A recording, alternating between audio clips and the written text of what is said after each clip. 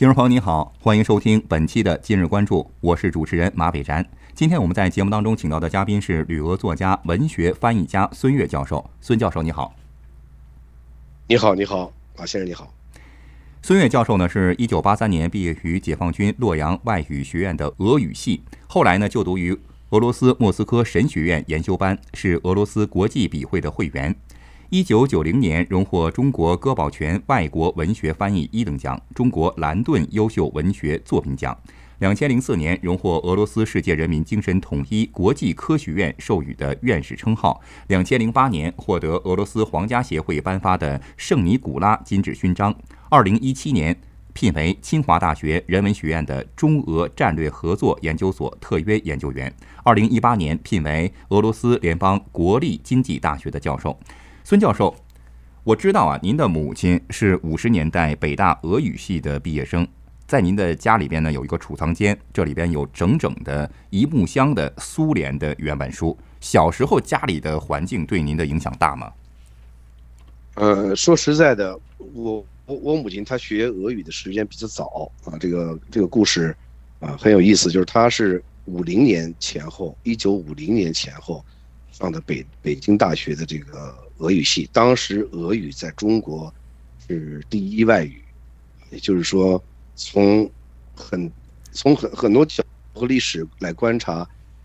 好像那个年代每个中国人或多或少的都懂一点俄语，所以在这个时候呢，呃，他考上了俄语系，但是他对，呃，他对我的影响，这个他学的俄语对我的影响，说实在不是很大。那么这个跟历史条件和历史环境有关系。为什么这么说呢？因为，呃，他虽然在五十年代中期毕业，大学毕业以后，在中中国的这个中央气象局担担任这个苏联专家的翻译，但是我出生的时候是已经是五零年代年末了，五五十五九年的五九年的年年底了，在这个时候，中苏关系已经开始走向破裂。从赫鲁夫一九五九年十一月访华以后，啊，这个中中苏的关系逐渐的走向破裂。到六六零年代初初期的时候，已经基本上完结了。所以，我们上小学的第一天，或者上中的第一天，我们所接触到的所谓外语，已经不是俄语了，已经是英文了。啊，这个这个，我呢也从初中开始开始学的外语是英语。根本没有俄语的事儿，啊，而且我母亲当时很拒绝跟我说俄语的问题，因为因为在那个在那个年代，大家现在可能很难想象，就是如果选择错了一门外语，对每个人的政治生涯它是有严重的影响的。这个影响的程度，每个当时我们可能还不是很清楚，后来逐渐的显现出来了哈。这个是 这是另外一个话题了。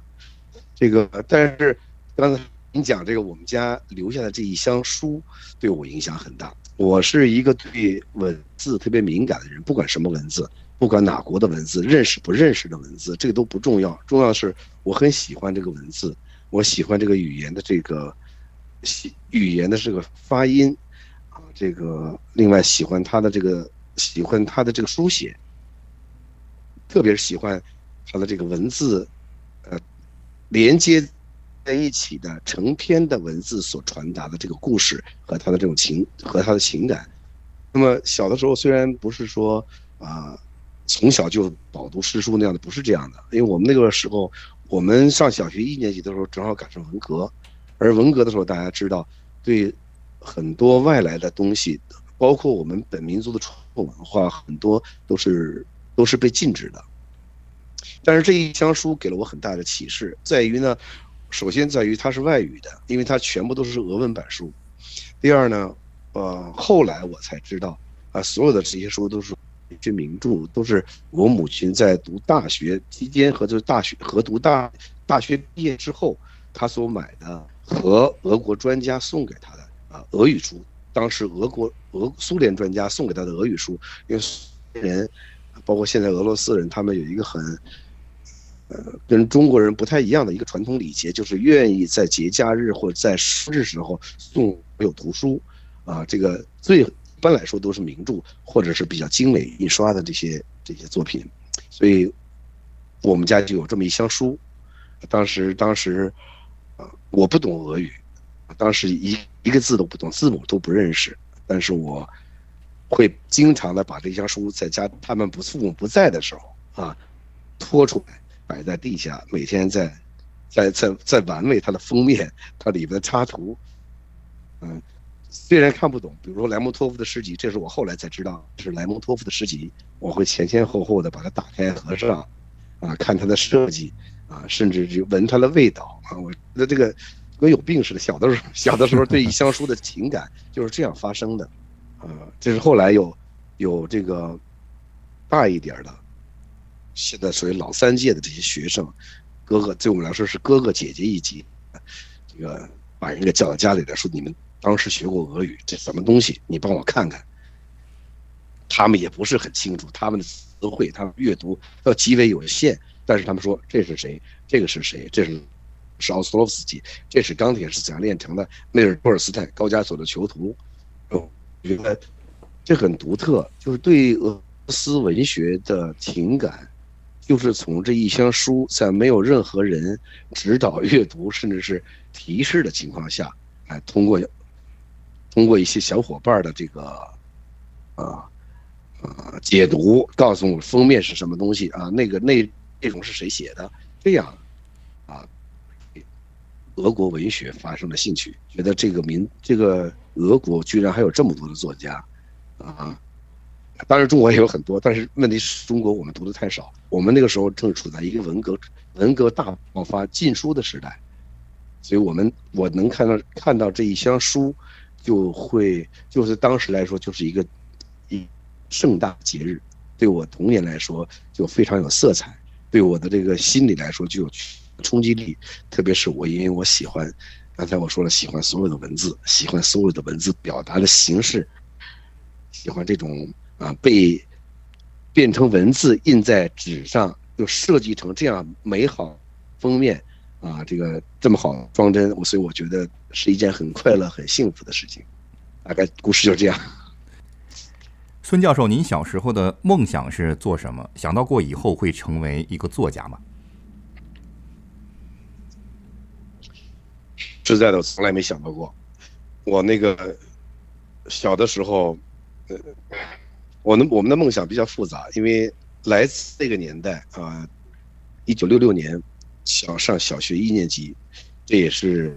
那个非常伟大的革命爆发的年代，所以在那样一个年代，嗯，就不会像今天这样对人生还有策划啊，这样对未来这个还有期盼和憧憬。就是我们不知道未来会怎么样，但是参加革命是肯定很向往啊，所以参加革命对我们来说，就是，啊举着小旗子，跟在大人的。浩浩荡荡的这个游行大军的后面，走上街头啊！这个我我我们这我参加了很多次啊，参加了很多次，因为我们我是在北京的这个高校的这个校区，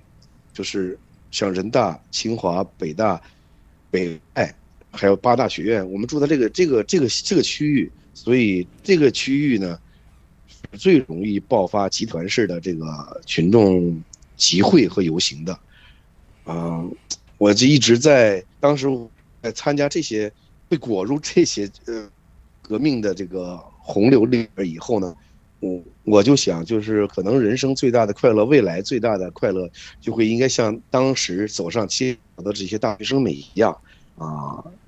去参加革命。这个是，所以，所以，所以我就后来嗯上了小学之后，偷偷的读过一本书，在大革命的洪流中，我就特别想象。自己曾经是参加过这个，啊，反对帝国主义、反对军阀的这个，这个这个游行队伍中的大学生队伍中的一员，所以没有那么具体定位给自己要做什么，但是我自己非常清楚的感觉到，我依旧文字啊，对对语言，对对这些东西呢，他的兴趣特别大，特别强烈。啊，后来这是后来，是几十年之后，其实我才明白，或者是隐隐约约的觉得啊，其实这些这是有这是有，呃，天赋可能驱动，啊，我应该从事这项工作。但是具体做什么，是做文学翻译，还是科技，还是去做普通的文字，还是只是做个抄写员，我也不知道。啊，这所有的事情，我觉得都是一步一步的啊推演到最后啊，变成我今天这个样子。但是在那个时候，啊，我很喜欢阅读，尽管读的书不多，因为没有什么可读的。我们从从从图书馆，呃，去去去借来的书，还是说从小伙伴那抢来的书，还是还是还是从任何地方得到的一些旧书，呃，我们，我只是有机会就去阅读，尽管当时再说一遍，就是我，当时被限制了很多，被限制读书读读，但只是能够拿到什么就读什么。嗯，没有考虑到自己将来会做什么，更没有想到自己可能现在还在去写故事，在写书。这现在想想，当时都是完全不可不可思议的事儿。在七十年代的时候呢，您上了高中，喜欢上了《钢铁是怎样炼成的》原版的插画和国内译版的同名小人书，于是呢就开始没日没夜的临摹。有一次呢，在数学课上画保尔被发现了，这个画啊就被交给了班主任。当时呢，这个班主任是一位女老师，她笑的时候，您当时觉得说这是笑里藏刀啊？能不能给我们讲一下当初的情况？这个很有意思一件事儿，呃，我我到了初中以后呢，就是曾经想，啊，终于想了一件事儿，对我现在补充一下。终于想了一件事情，就是有没有可能成为画家？就是我很喜欢涂鸦，呃，不会画画啊，再声明不会画画，但很喜欢涂鸦，在一张白纸上画我只有我自己能看得懂的东西。当然，后来也买几本教科书，希望能规范的学习美术，比如说速写、素描、静物、写生。那但是一无所所成所成，啊，但所以呢，嗯，当时在我们那个年代流行。两呃一本连环画叫《钢铁是怎样炼成的》，就是根据苏联作家奥奥斯托夫斯基原著改编的，啊，那部长篇小说啊，因为我读过，就是偷偷的偷偷的读过五十年代那个五五年那个中国青年出版社那本，这样的啊，就是美译翻译的那一版《钢铁是怎样炼成的》，所以我就对那个书的情节真的是非常熟悉啊，简直就是因为只有那几本书可以看，就反复的读。呃，当时中国青年出版社出的那版长篇小说是竖版的，繁体字的，呃，很多字我不认识，因为我们没有学过繁体字，我们是学简体字的，我们没有读过竖版，我们全是横版，从左向右写。我就觉得这个很有意思，竖版原来这么好玩，我就看每一个每一个繁体字啊，都像都像个都像很非常奇怪的一个构成，但是这当时因为不知道什么叫繁体字。我们老师也不讲过，父母也没有讲过，朋友也没有讲过，无从查起这个繁体字，这个到底它从篆体从，哎呀，这这个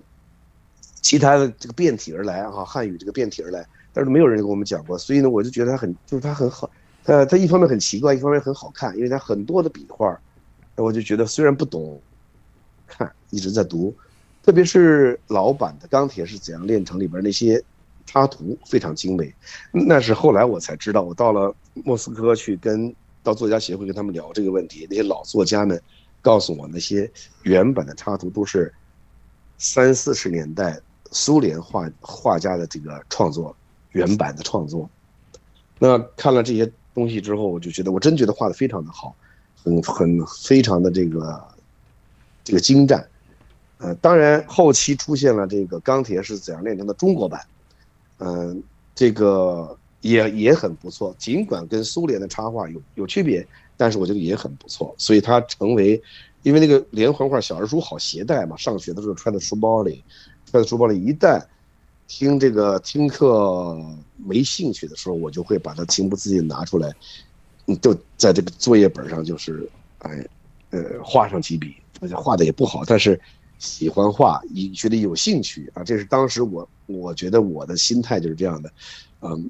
但是所以我们的老师被老师抓到以后，首先就是不务正业嘛，在当堂课上不去做作业或者不去听讲，而去做这件事儿，这首先是不务正业。其次，画的这个人是外国人，第三，这个外国人可能还是个坏人，因为老师当时他也没有读过《钢铁是怎样炼成的》，他没有读过，不是我现在像我们那是人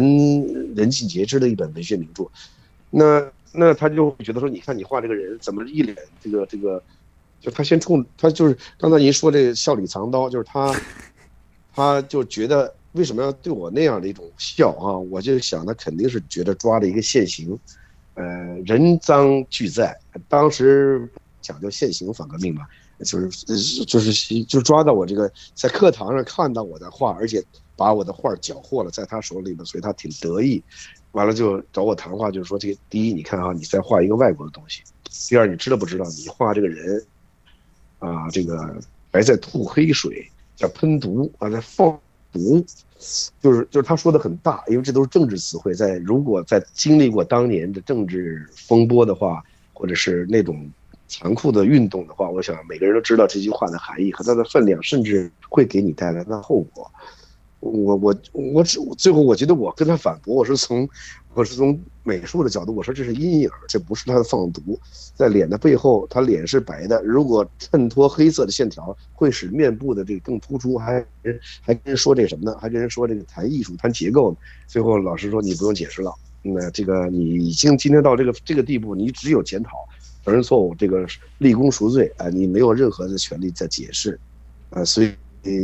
当然后来这个事情又上报了之后，又挨了批评，差点给了处分，就过去了。但是这个事情对我的印象比较深刻啊，比较深刻，倒不是别的，他怎么给我戴高帽子，完了要要要怎么样处分，我觉得都是次要的，重要的是我觉得，我就是在一直想一个问题，我说，难道说一个老师在那个时候没有读过？钢铁是怎样炼成的吗？这样重要的一部著作，这样有名的一些插画，他都不知道吗？他配当老师呢？啊，这就是我当时对这个问题所持有的疑问。哎，疑问了很多年，持续了很多年。当然现在早都释然了啊。呃，一个人不知道什么什么，不知道历史，不知道文化，不知道是哲学，不知道宗教，这很正常，这很正常。特别是在那个年代，这都没什么。他说的很多事情，包括。抓到一个学生想把他怎么样？我觉得这也很正常，也许是为了立功呢，也许是为了教育我呢。我觉得我现在的那些那个那个年代的事情，我只是觉得很有趣啊，他还留在我的记忆之中，就是这样。在一九八三年的时候，您毕业于解放军洛阳外语学院的俄语系，当初呢为什么会选择学习俄语专业？我从来没有选择这个专业。说实在的，这个专业我是零起点，因为我是考英文，我是学英语的，考英文。大学高考考的英语，考的英语之后就很兴冲冲的进了这样一所学校啊。进了这所学校也不是因为我多政治上多进步啊，思想上多么高尚或者怎么样，其实我很简单。我我觉得当时军人的这个地，因为是。先军先军国家嘛，军人的地位是很高尚的。对于一个十七八岁的孩子来说，上这个军校当然是一种啊，当时被称为精神上的选择。但是我们经过了新训练之后，几个月以后，这个我们就被通知啊，说不，你们这些新招了这批新的学员三四百人啊，还是四五百人，我忘记了这个是个总的数啊，你们的选择不是很多。他说。当时我一愣，我是怎么还有选择？我们不都是学英语的吗？我们学英语的时候不是应该理所当然的入英语系吗？难道说还有别的选择吗？哎，当时就说呢，通知告诉我们，就告诉了我们说，英语系就不要再想了，英语系早就满员了，没有任何席位再给你们去学习和深造。你们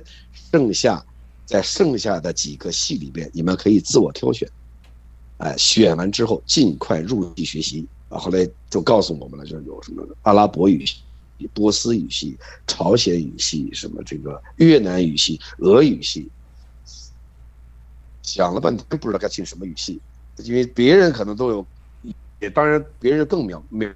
更茫然了啊，因为大家都不知道这个这些语系是干什么，这些国家是怎么回事，他们的国情是怎么样的，跟中国的关系是怎么样的，跟个人的关系，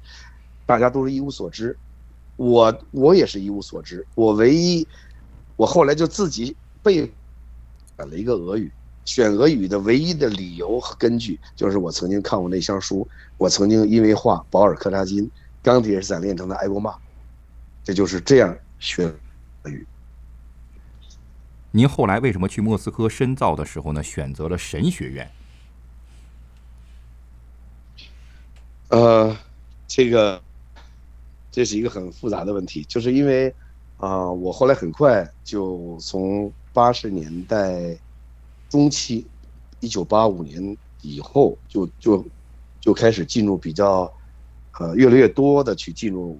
俄罗斯呃，这当时的苏联文学的范围，呃，苏联文学，呃，在那个时候，当然对我们来说也是一个初。就是就是刚刚就是初初始阶段翻译的初始阶段，对于很多文学作品呢，我们按照文学史上的解读啊，去介绍分析，我们去进入这个这个呃研究和翻译的过程。但是啊，我依然觉得有很多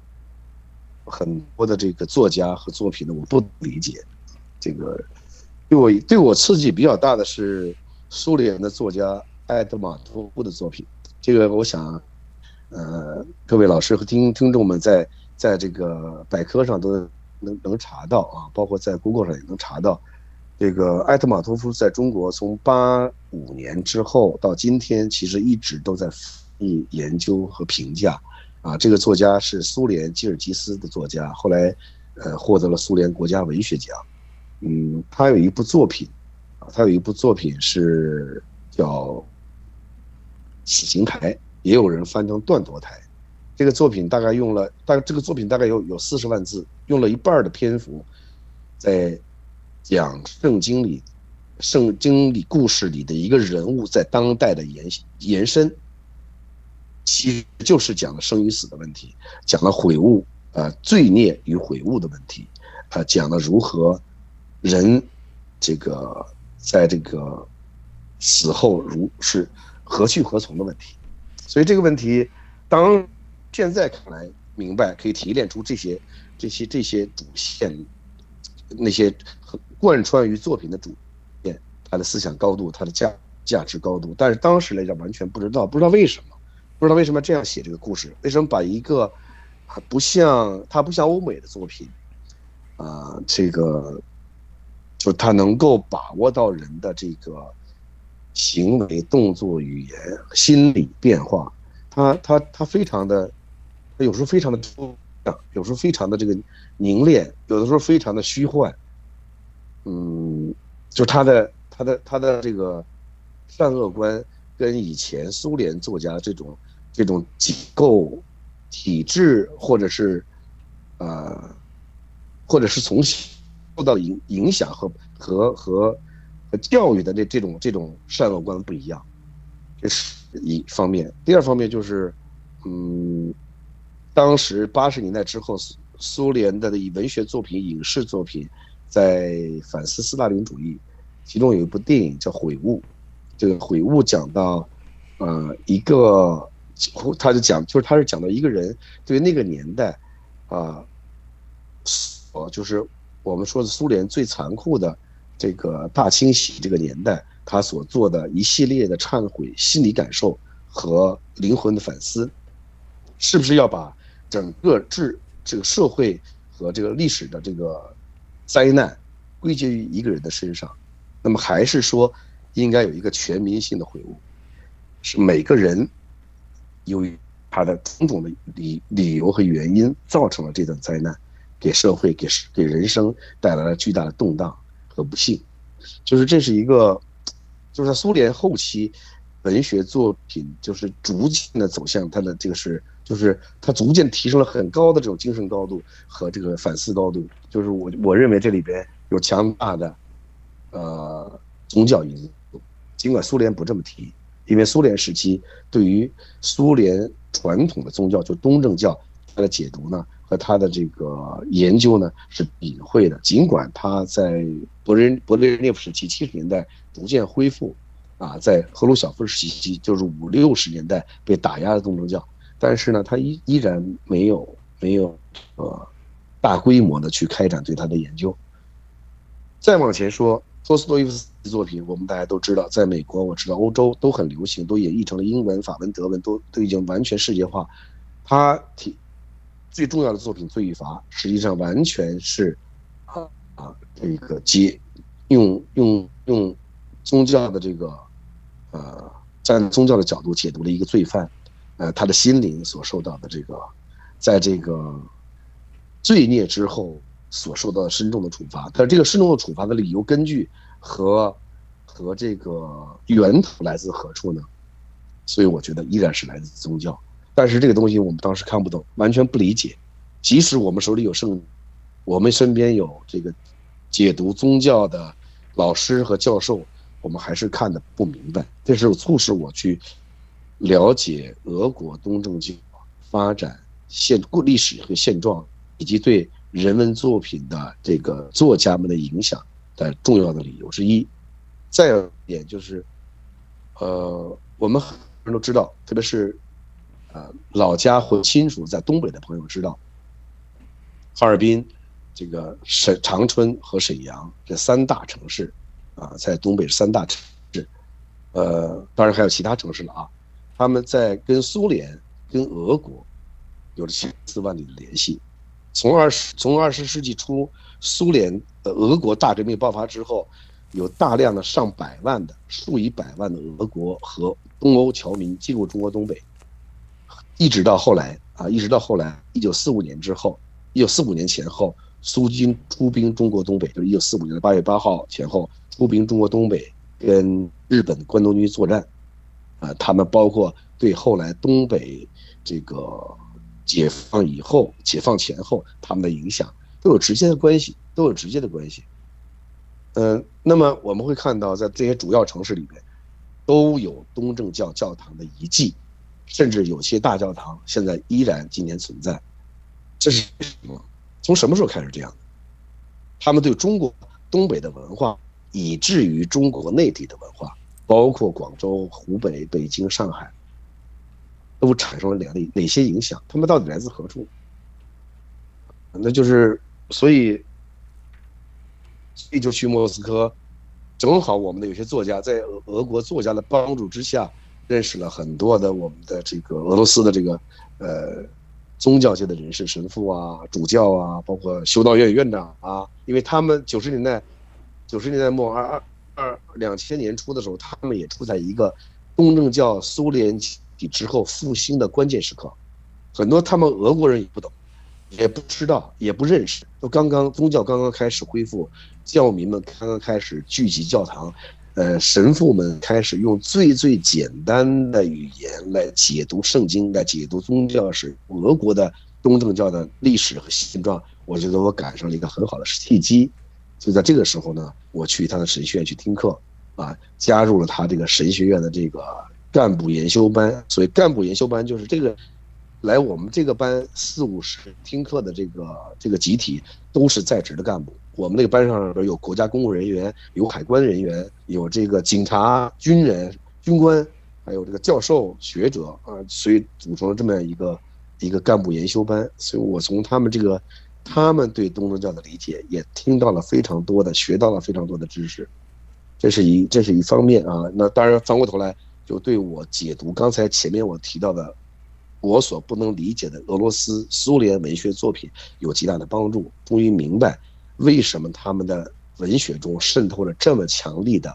这个宗教色彩？而这宗教色彩的本质是什么？他们的价值观是什么？他们的生死观是什么？啊，这也非常的重要。呃，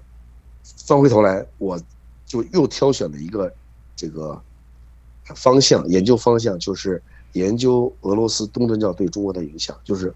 就是就是另外一个主题了，东正教与中国，就是俄罗斯东正教与中国。它从什么时候开始进到中国啊？它从一六八五年第一次雅克萨之战发生在这个黑龙江黑龙江的源头啊上游啊尼布楚雅克萨一直到黑河进到中国来之后，他是如何成为这个在漫长的四三百不到四百年的这个过程中，在中国呃各大城市逐渐的蔓延传播，形成了。这个西方进入中国内地宗教的一个分支，啊，这是怎么来的？当然，这个展开来就讲特别多啊，嗯，这个历史非常的漫长，将近四百年的历史，嗯，我我我我至今虽然离开了这个俄俄罗斯了，回到回到大陆，但是我至今依然对这个这个主题啊，这这个历史主题、学术主题、文学主题，怀有抱有这个极大的兴趣。我觉得，而且还在不断的写作相关的题材，啊，就这样。两千零八年，您获得了俄罗斯皇家协会颁发的圣尼古拉金质勋章。在庆典仪式上，向您授予勋章和证书的呢，是俄罗斯的皇家协会创始人、会长圣尼古拉二世罗曼诺夫家族的金质勋章的持有人瓦列里·马尔克索维奇·德米特里耶夫。孙教授获得这个荣誉，您当时的心情是怎么样的？呃，这个，呃，这也是一个非常，当时非常的这个。突然啊，呃，这个我记得这个事情就是为什么 这么说呢？就是因为我完全不了解这个奖项，完全不了解这个奖项是他们，啊，是呃，我提名去获这个奖是由教会来提名的，很很奇怪，很非常奇怪，而且而且是呃，是因为有两个理由，第一呢，就是我在莫斯科创办了一本学术杂志啊，叫。叫这个中华福音，它是它很多人说它是一个传教杂志，实际上它是一本学术杂志。因为我的定位是一本历史文化宗教研究杂志。呃，第二就是说这个杂志里边用大量的篇幅，实际上介绍了作为华裔的一个学学人对东正教和在中国和俄罗斯和中国在东正教传播时期的关系做了梳理。呃，还有就是我们作为华人学者对俄罗斯文学在中国大陆汉语地区的普及，我们的见解，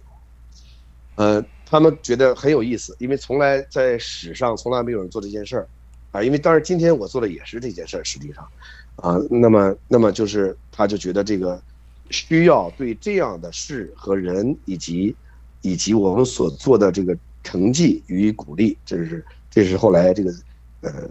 俄罗斯东正教协会和这个皇家协会，他们共同提出来这么一个理由啊，就就这样的。呃，那后来我就问过他们，我说那那还有谁曾经得过奖？他们好像给我介绍了很多，我也不是很熟悉啊，因为完全我不知道这个事儿。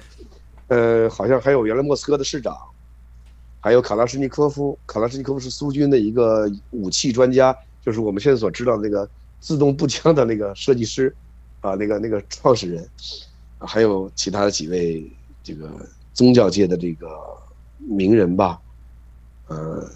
这个就反正就是很奇怪啊，当时很奇怪啊，就是但是我觉得不管怎么说吧，这个也算是呃，就是我们的宗教界、文化界的同仁对对我的一个鼓励吧，因为没有太多的中国人涉及到这个领域，因为因为由于我们的传统文化。和就这种无神论的文化和这个俄国这种有神论的文化之间的冲突还是比较大的。我们看到有有历史的鸿沟，有沟通的这个，我认为是要跨越障碍。嗯，所以可能才更觉得呢，他们给我这个荣誉呢是一种鞭策，因为呃，它它是很难的，要转换我们作为华人要转换。转换我们的思维模式，才能够去阅读、理解和这个去深入到这个领域，这是很难的一件事儿，而且我觉得是很有必要的一件事情。就是我们怎么能在长达三百多年的历史中，把中俄交流的最重要的一块给失去或者不闻不问呢？那么这个我是一，我们再上升一个高度，我认为这是中俄目前、呃过去、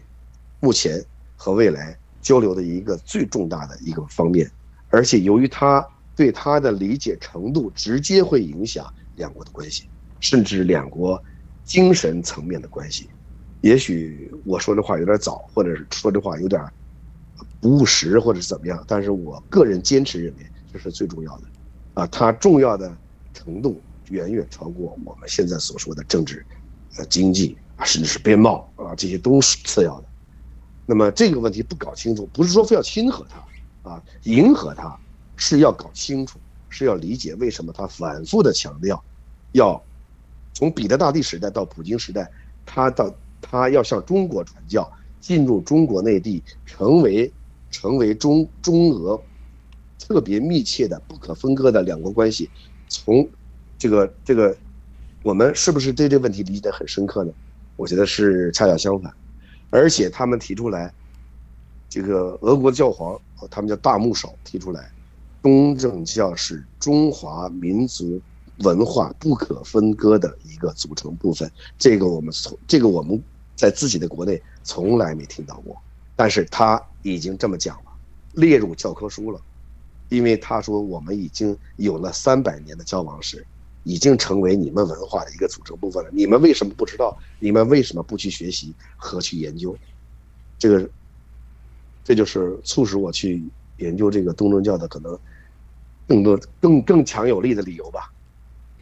您在二零二零年的八月呢出版的作品叫做《俄罗斯的独行笔记》，是一部行走俄罗斯的深度文化游记。这是您二十余年独自穿行于中俄四百余年来的历史沿海写下的文字。书中呢不再重复那些充满陈词滥调的故事，力图扫除多年来中国人对苏联以及俄罗斯的误读。孙教授能在节目当中跟大家来介绍一下这本书吗？呃，这本书是我我这个二零一二年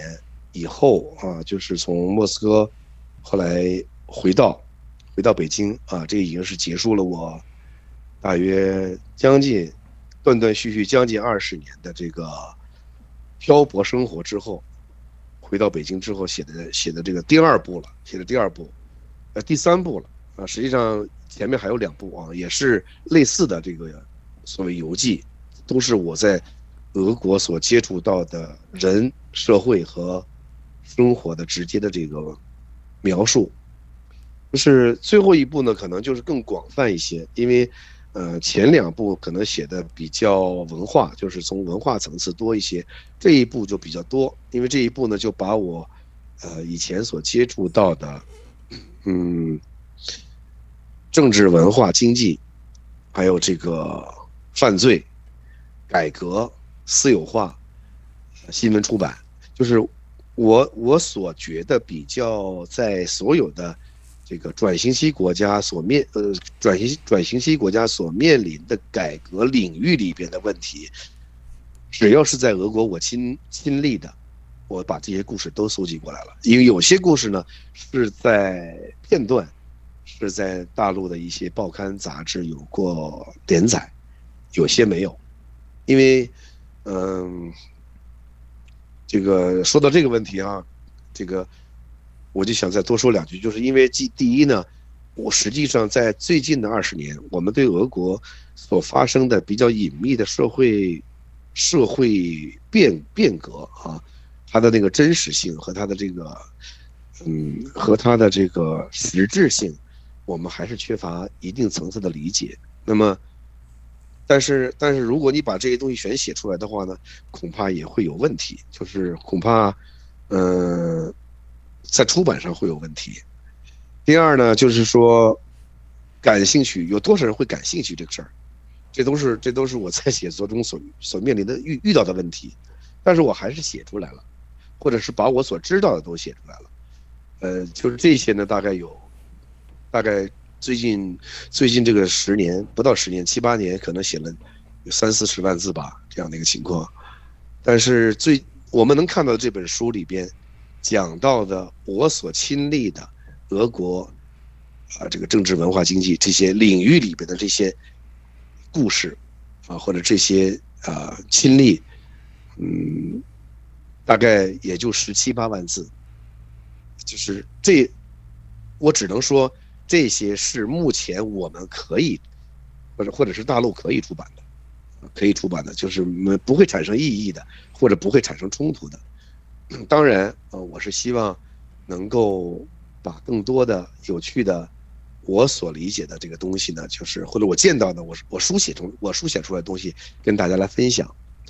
嗯，比如说这里边，呃，可能没有汇入这个文集的哈，包括。他的体育犯罪，包括俄国的这个传媒的私有化，包括这个嗯，俄国这个在解解体苏联解体之后将近三十年，他的这个精神领域青少年女性这个精神领域的巨大的变化，很多篇章很遗憾啊都不能收入到这个到这个文集里去，所以我也很希望将来未来在在合适的时候呢，由合适的地域地区，由合适的出版商，由合适的出版人来来这个跟我跟我来一起来做这个事情啊，来再再出一个完整版。假如大家还感兴趣的话啊。呃，总总的来讲，就是我觉得，呃，我我就是国内的有些史学家，看了以后哈，因为他但史史学家史学家们肯定是一般来说是不屑于看这种散散文游记的哈，人家都是做正史研究，引经据典，这个这个这个有有有利益有结论的这个史学著作，但是史学家们还是对，呃，这个这个散我这部散文集呢。给了一定的比较中肯的评价，就是说，呃，作者至少还是了解俄国的，啊，是了解俄国的。就是，呃，我把我的这个作品，又跟又跟这个，二零一五年诺贝尔奖那个获得者阿列克谢耶维奇，就是写这个切尔诺贝利寄岛的这个作者，啊，在明斯克啊，刚才我们谈到明斯克，我去明斯克两次跟他谈这个事儿，呃。后来我翻译了他的《切尔切尔诺贝利》这本书，我把我的书也给他做了介绍，详细的很多篇幅都朗诵给他听，用俄语。这个他说：“你是一个诚实的人，啊，不管你的水平如何，至少你用诚实的话讲了一件真事儿。这件真事儿就是我在前苏联或者叫苏联地区，或者叫俄国或者叫东欧地区行走了二十年。”就这么一件事儿，呃，所以我很希望能跟大大大家讲这本书啊，共同来分享这本书。嗯，如果还想大家还熟的更多的更多的情况的话，我们可以有机会呃用别的方式再继续对话。嗯，孙教授，您有一个一九八九年就认识的老朋友，他是白俄罗斯的作家斯维特兰娜·阿列克谢耶维奇。他也是二零一五年诺贝尔奖的获得者。他说：“你们都坚信文字可以改变世界，虽然呢有时异常艰难。”你怎么来看待这句话？啊，这个是的，这是老朋友了。这个老朋友呢，这个他这句话，最后刚才您说的这句话，是他在这个二零一八年、二零一七年、一八年的时候，我去白俄罗斯。看他的时候，他专门给我写在笔记本上的一句一句留言，呃，这个我对他，呃，还真的是，就是很有很有感触，因为，嗯，我跟他认识比较早了，是八九年五月份，八九年五月份在那个非常不平静的北京认识他的，我们是在苏联文学研究所的座谈会上认识的，当时呢，斯维特兰娜。她是一位中青年的女作家，在这个代表团呢，他们有一个排名，我看她是排最后啊，前面都是正统的、官方的这个现实主义的文学大家。斯维特兰娜呢，她是啊，在苏联时代，她是以纪实文学见长的，这个她的小说都是非常简洁的对话体的纪实文学，当然。她也有一些啊比较客观的描写描述，不过她的小说确实是非常的简洁，简洁到就像剧本，就只剩下对话，而且这个对话又写得很精致，又非常的写实。他是一个带有现实、高度现实主义这个色彩的，嗯，这个完全记录于现现实社会重大事件的一个纪实文学作家。而且他有传承，他的老师，啊，他的老师，呃，应该是他的老师是白俄罗斯老老作家，七十年代就去世了。嗯，我名字我是因为我记不住啊，名字可能是这个，呃，谢谢达胡达西维奇可能是这么一个作这么一个作老作家，所以他呢是完全忠实的继承了这个他的老师的传统，所以呢，他的为什么刚才我说他在苏联，嗯。排名是最后一个到中国来哈，在那个作家代表团里边，就因为当时大家对他评价是非常矛盾的。苏联作家苏联文学界认为他写的纪实文学有冲击、有力度，是对苏联不透明的新闻报道的一个重大的补充。那么，但是文学界认为呢，这个报告文学就不是文学啊，报告文学还是新闻，不能归入文学作品，不像现在什么非这个这个这个记呃，咱们叫什么非虚构主义哈，已经非常的非常从西方这个。这个这个从欧美的这个概念中引剥离出来，已经完全的很独立的一种文学题材了。当时不是这样的，所以当时他是很有争议的一个代表人物。他的第一篇作品和得国家奖的作品就是那个就是战争的面貌不是女性的吗？就是写写二战的这个这女兵的这个故事。后来他写了一系列啊，对对苏联。重大事件的报道，呃，重大事件的这种这种描述，包括切尔诺贝利事件，包括阿富汗战争，还有其他，就是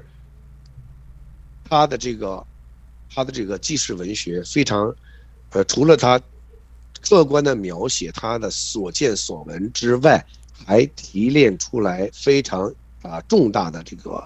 历史和灵魂的审审审问，发出了审严厉的这种审问的这种这种声音。啊，就是，谁来对制止国家犯罪？他认为切尔诺贝利事件是一场重大的国家犯罪。当然，在那个时代，包括啊后来苏联解体之后，他的作品呢都，嗯，尽管都出版，但是在一定程度上啊还是受到压抑的。包括他得奖之后，那你看得奖之后，由于他是俄语作家，他的这个创作和他的这个。年代啊和他创作时时段横跨苏联解体之后两大时段，那么就很难把他和俄罗斯割开。尽管他住在明斯克，所以他获奖。二零一五年获奖之后呢，嗯，鉴于他如此犀利的作品啊，普京和卢卡申科对他犹豫了很久，但是还是给予了审慎的祝贺。我对他最感兴趣的还是他作品的深度，就是他在北京北京大学呃那次讲演，和在中国社科院的两场讲演。一六年一六年夏天的时候啊，都是两场翻两场讲演的翻译都是我来我来做的。所以呢，我觉得他和中国当代作家啊这个区别啊，比做做我做了做了一些比对，就是他更。更宏观的，去通过自己的作品去揭示苏联的本质，和从苏联过来的这些所谓红色实验室的这些苏联人内心世界的这种啊这种刻画或者说追寻，还有就是，呃，他对这个解体整个苏联前苏联社会的这些人群。包括俄罗斯的、白俄罗斯的、哈哈萨克斯坦的，还有这个吉尔吉斯的，就整个这个十五个加盟共和国人群这种灵魂世界的这种探探寻，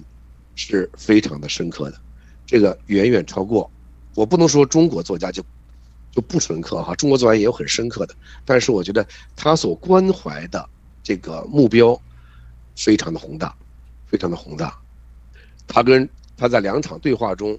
我能明显的感觉到。跟中国作家和同行，啊，建立一种对话机制和建立一种谈论一种共同的话题，还是有障碍的，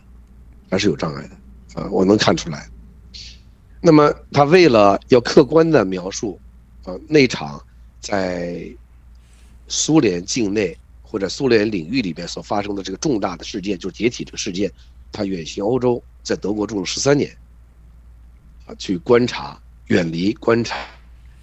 上呃通过参加欧洲作家的活动来反观苏联和俄罗斯白俄罗斯作家的现在的思考，啊，他得出了很深的结论，也写出了很好的作品。现在又回到了明斯克，所以我觉得看了他的，那他的作品，翻译了他的讲演讲，又跟他有几次啊私下的这个长谈，啊，我真的是受到很大的启发。同时，他也告诉我，他说一个呃伟大的作家啊不是。天天发东西，天天提观点，天天去震撼人们的眼球，要潜下心来，啊，这个他给我举了几个例子，推荐了我去读一两位当代俄罗斯呃诗人的这个作品，说好好读一读他们的诗，你会理解今天从那个时代那个大动荡、大残酷时代、大恐怖时代过来的人，他们灵魂的积淀，这是真正的黄金，这是真正有价值的东西。所以我觉得这个阿列克谢维奇是非常值得推荐的这个作家。给后来我这个，但是我觉得还还不错。呃，切尔诺贝利这本切尔诺贝利祭岛这本书，呃，出版了以后，呃，这个好像还是印数还是非常不错的，取得出版上成功。呃，是我个人知道，我我我的这个翻译作品中，这个可能是现在算卖的最好的一本了啊。这个呃，书出版社的眼光吧，当然也是美剧。帮忙，因为那个时期发行的高峰正好赶上美剧同名作品的在美国、美国这个和全球在热播，所以这都是一个契机啊，就是这样。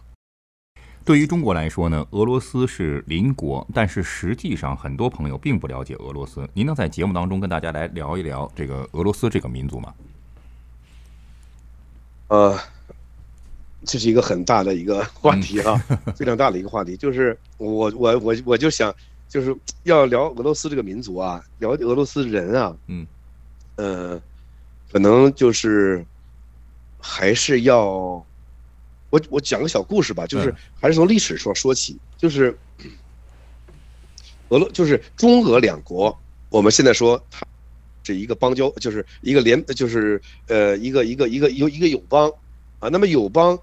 友邻，他们如何是成为邻国的？实际上呢？我们看历史就知道，中俄两国原来并不接壤，他们不是一个邻国，啊，就是，呃，按照这个大清康熙的这个说法，这个中俄的边界呢，假如要是接壤的话，应该画在贝加尔湖。贝加尔湖呢，我们很多现在旅很多旅游的都可以去啊，有有热线啊，贝加尔湖，大陆也可以去，欧洲、香港、台湾都可以去贝加尔湖，这个。贝加尔湖周旁边有个最大的城市，就是俄国东西伯利亚的这个当时的这个首府或者叫军事重镇，叫这个伊尔库斯克。这个那个地方实际上才是，就是当时大清认为那个地方才是俄国的边界，它跟中国应该首先隔着一个湖，你们是在湖对岸，你们是在湖那边，这个湖是我的，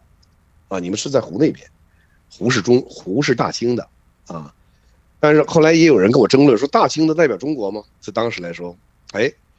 到了一六八五八九年，一六八九年，中俄签署第一第一个，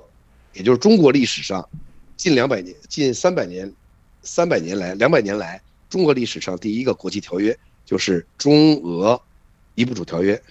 哎，中国，哎，大清还真用了“中国”这个字儿。所以呢，而且俄国还承认了，所以在在这个角度上看，那就是一个中俄的中俄的条约，第一次把中俄的边界确定下来了。那么在此之前，中国和俄罗斯人知道不知道，认识不认识，打打过交道没有？那是打过很多交道的。中俄之间实际上是从明朝，明朝万历年间，万历年间更早就有就打交道了。咱们就说一个小事儿，就是说，中俄两国是谁先谁先招的谁，谁先。想了解的谁，或者是谁先去找的谁，那就是，那我就告诉你哈，是俄国人先找的中国人。一六一四年到一六一五年前后，这个这个俄国人就想到中就想到中国来，因为他们知道东方有个国家，不是呃，他他们不呃，他们当时已经，因为当时是明朝啊，当时是明朝万历年间嘛，这个他。传说中的中国对俄罗斯人的概念，在俄罗斯人的概念中有两个突出的，呃，这个象象征代表代表物，一个是万里长城，这个可以理解；第二个是金苹果，金苹果就是就是这个，至今我也没理解什么叫金苹果。啊，就是说后来我才看了很多史书才知道，俄国传说中国盛产一种金色的苹果，又甜又多汁又好吃，所以呢。这个是吸引他们对中国向往东方的主要原因，而且东方当然了，除此之外，富有的就是非常大量的财富，啊，东方大量的财富，所以导致俄呃第一位哥萨克驻扎在伊尔库斯的哥伊尔库斯克的哥萨克，跨越了贝加尔湖，翻越了这个吉尔吉斯和蒙古的山脉戈壁，一直徒步走到了走到了这个现在的北京的北部长城的入口处，就是根据我的判断，就是张北，就是张家口一带。从那个地方的长城入口进到北京，而且打的旗号是沙皇的旗号，说沙皇特使到了北京，但是呃，这个特使在中国边境就被扣留了，在大清的边境被扣留了，被押送到北京，受到了受到了盘问。他们当时的到北京的目的呢，就是想来见中国的皇上，就是就就见见明朝的皇上。但是明朝的皇上肯定是不肯定是不会见他们的，因为他们手里按照中历史书上记载，他们手里没有任何凭证来证明他们是俄国沙皇的特使，啊，首先没有国书，第二没有国礼，所以中国的皇上不予求见。他们在北京一共待了四天，啊，领他们去参观了一下北京的这个紫禁城，又参观了一下北京主要的商业街道、商业集市，这个但是。皇上还是中国的皇上，还是给他们留下了一道圣旨，一道御笔写了一封信，让他们回去转交给转交给沙皇。他们带着信就撤回去了。这个前前后后已经过去了三年至少。他们到了俄国之后，这封信没有人能够跟他们把它翻成翻成俄语，因为它是用用用满用满文用满文和汉文写的，没有拉丁文。无从翻译，这样一放，就在这封信就在皇家这个这个这个书柜里放了五十六年，五十六年之后才又把它译成了，有学有学东方学的汉学家才把它翻译成了俄语。原来这封信的意思就是说，中国的皇上同意跟俄罗俄国人进行正常的两国两国贸易，啊。鼓励两国的贸易，他们可以带着国礼再来，但是这封信呢，就迟迟没有翻译，就被搁置了。所以俄国由此后后世知道了这个事儿，逐渐由此形成了一个成语，叫“中国国书”。这个是这这句话什么意思呢？就是说，被被中国国书被形容一份神秘的、重要的却根本看不懂的东西。呃，俄语就有这么个成语，就是当时你拿一个东西来说，跟这这很重要、很神秘，谁也看不懂。哎，这就是中国国书，所以它变成了俄语的语言的一个现象。这个我觉得我很关注，我觉得很有意思。它是由于跟中国交往，嗯，说双方产生了产生了不解而形成的一种语言结果和或者语言的这个这个这个这个这个呃这个叫叫成语也好，叫叫叫俚语也好。哎，这个很有意思，就就这这完全代表，也代表俄罗斯人的共性，就是俄罗斯俄罗斯人对中国很很向往，他们对财富很向往，对东方的神秘的东西很向往，所以他们就开发，他们就派派这个哥萨克一行人到了北京，冒冒失失到了北京，什么都没有，还想见皇上。俄国人就是这样的，俄国人的性格就是这样，就是他只要想做，他只要有驱动力，他就去做了。至于做的手段是不是合理、合法或者合情，那就不管了，那再说，那再调整。所以，中俄在北方见面的时候，俄国人就是这样一群人，他们对北方的土地，我说的就是贝加尔湖以东，啊，黑龙江以北啊，这个这片土地，呃，他们的寄予是非常的强烈的，因为他们出于利益啊，出于战略，出于疆土。种种考虑，所以我把俄初次见到中国人见到俄罗斯人的心态写在这个故事里，也就是刚才我们说的，刚才我们刚才我们提到的这个俄罗斯独行笔记的这个其中的一篇。当然后边我还有其他的很多的故事都会讲到我们和俄罗斯人打交道的时候的这些过程啊和这和这些历史瞬间我都会讲到。但是这个这是我觉得它比较能够说明俄罗斯人特。性格和特点的，但是他还有其他的性格特点。俄罗斯人有他的，因为他，他，他是一个草原民族，所以他有他的这个，呃，他有他的漂泊感，他有他的这个不确定性，他有他的这个出尔反尔。由于他被蒙古金帐金帐汗国统治两百多年，所以他有他的这个能征善战，所谓战斗民族的特点。啊，由于他后来建立了强大的帝国，所以他有沙文主义，所以他有这种征服欲。啊，我觉得这都是他的特点。那么我们会通过不同的故事，来把这些特点逐步的都表达出来。在旅俄期间呢，俄罗斯的国际笔会的秘书长特卡辛科曾经建议专门为您签署一个随身的证明文件，说明呢您是中国去俄罗斯的文学翻译家，是沟通中俄文化的桥梁。当初为什么需要帮您准备这样的一份护身符的文件？呃，这个这个更更有意思了哈，这个两千年之后啊。或者两千年前后，其实，其实，在苏联解体之后，就中中国有大量的这个呃个体的这个务工人员、经商人员，呃，以这个身份到俄国去做生意。其实话说回来吧，就是就是个体小商贩。呃，由于对两国彼此之间不了解，啊，因为在苏联时代、中国时代，还大家都是很封闭的，交往人员都是有限的，除了国家层面的，什所谓这个政府层面的，都都很有限。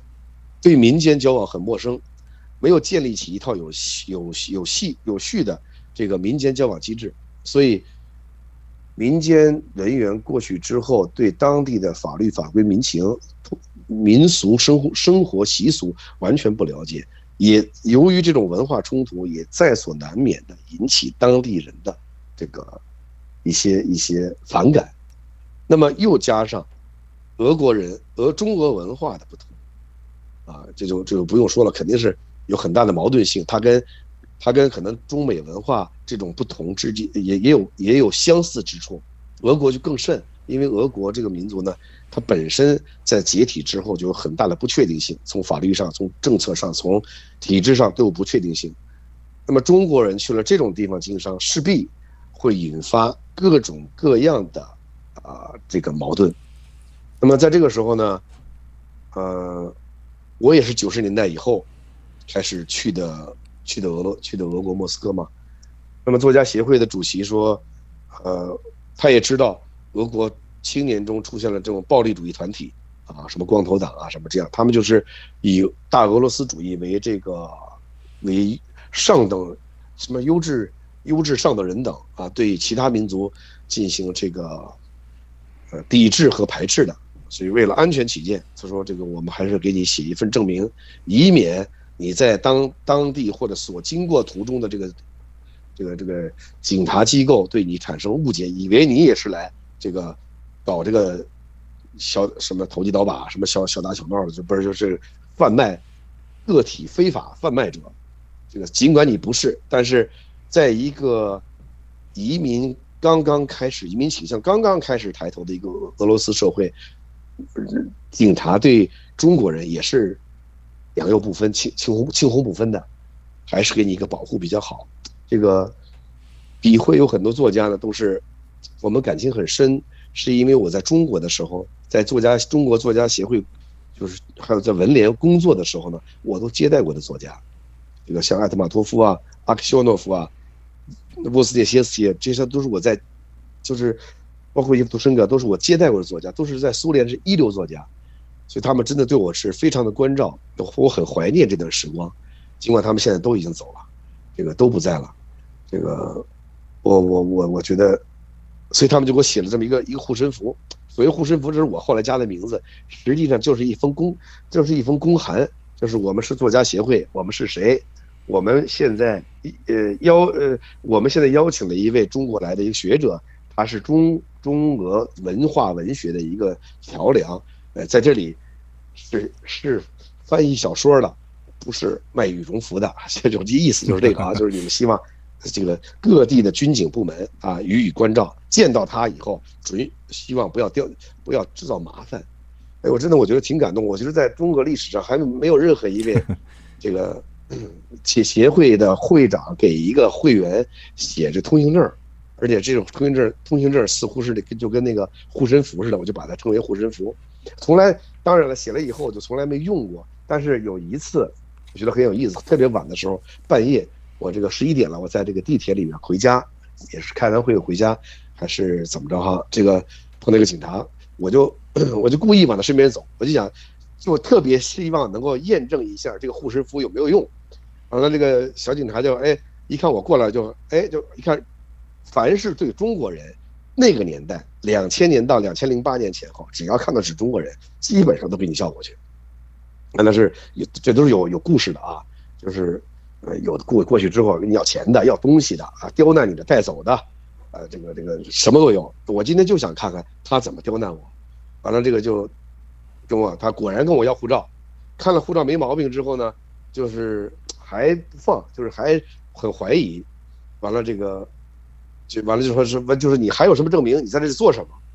我就把这个护身符掏出来啊，给他看。我想看看他的表表情，亲身体验一下护身符的作用。哎，看完之后，他就他就非常认真的看了我半天，指着那个下面签字的那三个作家，这都是一流的大作家，就问他们是谁。哎呦，我觉得好，我觉得他撞我枪口上了。我说他们是谁？你不知道吗？我说你中学没读过书吗？你们的语文课本里没有输入过他们的文章吗？或者说你们的课外读物里没有他们的作品吗？就是连续问了五六个问题，弄了他一大红脸，觉得特别不好意思，好像他因为他觉得他还他还是个有文化的警察，新一代的警察呀，不是大老粗啊。结果呢，赶紧还给我说，他他行行行，我也不问了，你问的话比我多，你当警察比我合适。我说，告诉你，这些都是作家，非常，就是非常诧异的看着我，就说，我就这作家写这玩意儿有什么用呢？给我看，这还是他就一直不理解。但是我就说，你回去要好好读读他们的书啊，这些都是你们的骄傲，你们文化的代表人物，你怎么能不知道呢？我就给他说了一顿，拜拜了，就后来就，这就是，就是这个，反正唯一的这么一次验证，这个护身符好像还，好像也没验证成功，但是我就利用这护身符把警察给给教训了一顿，这就是我的这个经历，我好几次这个用用这个文学，俄国文学、苏联文学教育警察好几次。我觉得这个挺过瘾的，因为从来我在我的印象中和我所知道的，包括我去使馆了解的情况中，从来没有任何一个中国人能用文学教育苏俄国人啊。当然吵架有的是，打架有的是，甚至罚款有的是，但是文学没有，我觉得是独一份。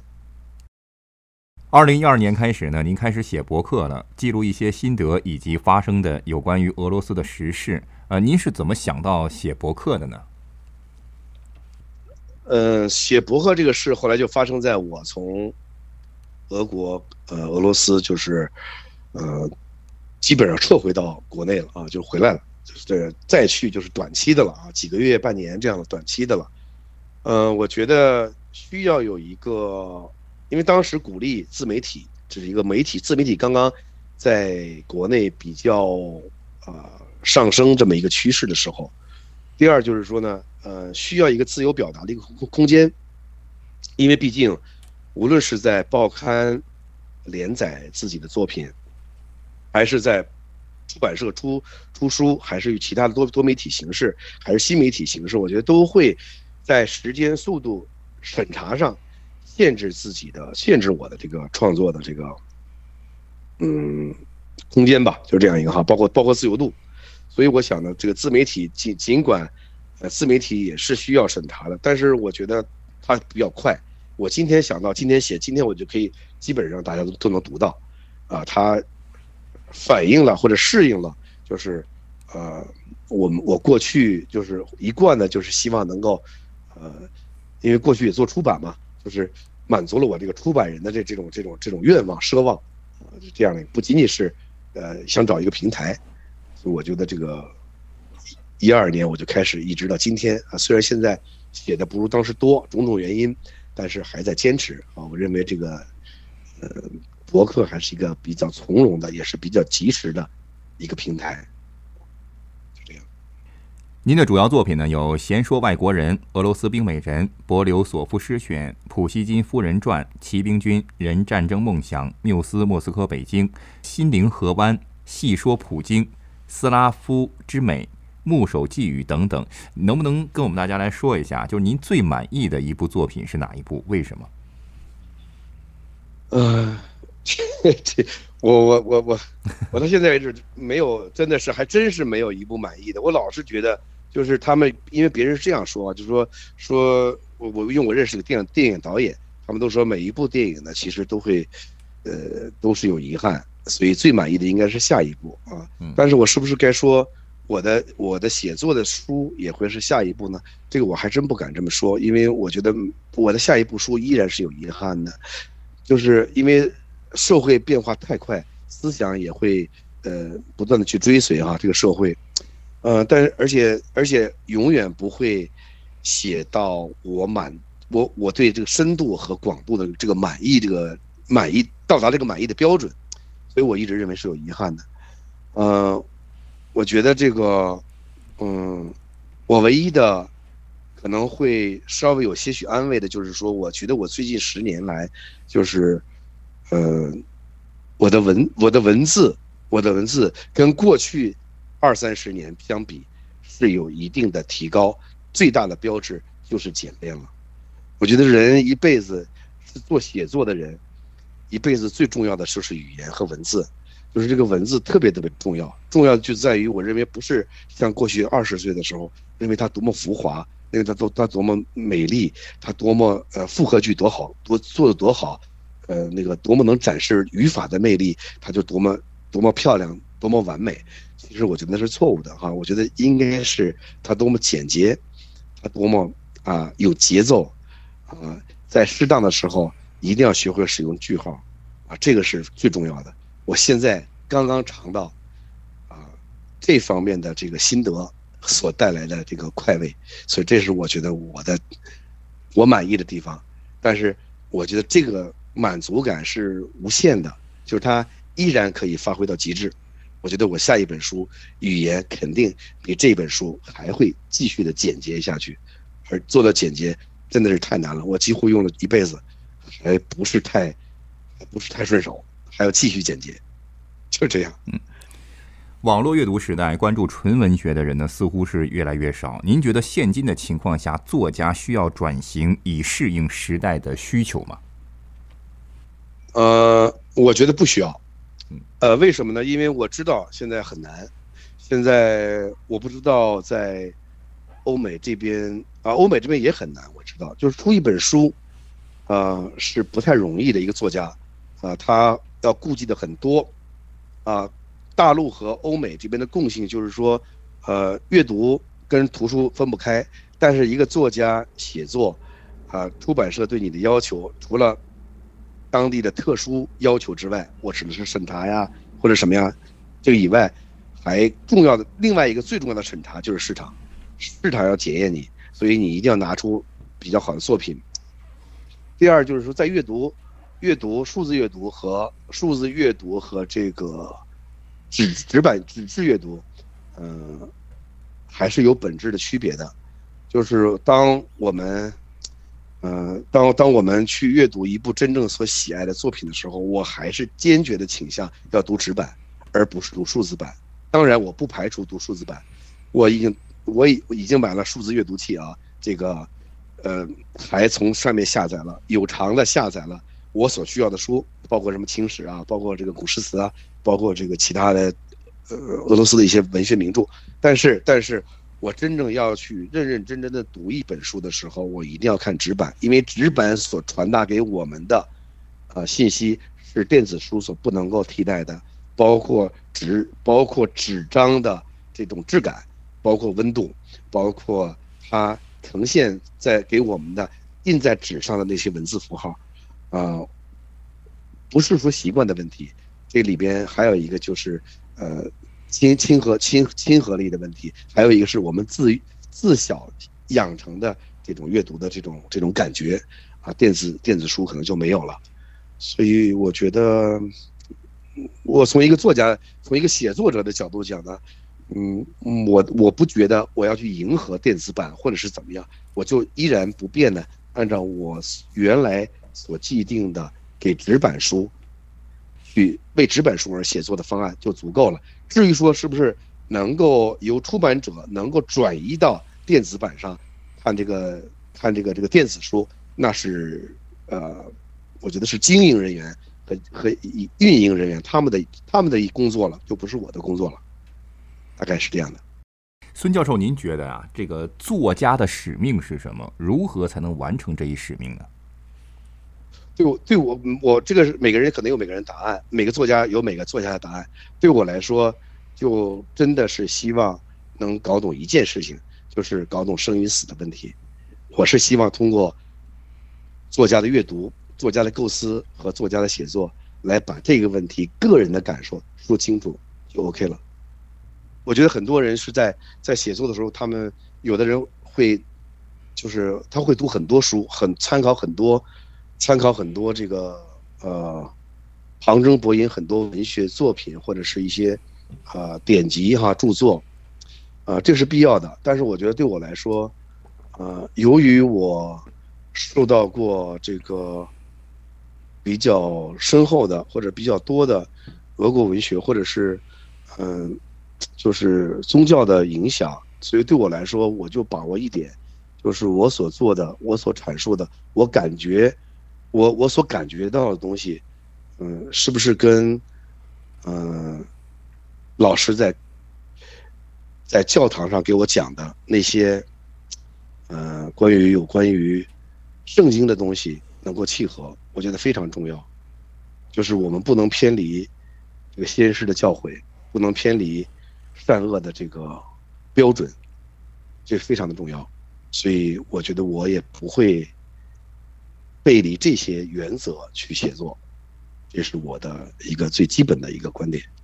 好的，谢谢孙教授。那么以上呢就是本期节目的全部内容，感谢收听，我们下期节目再会。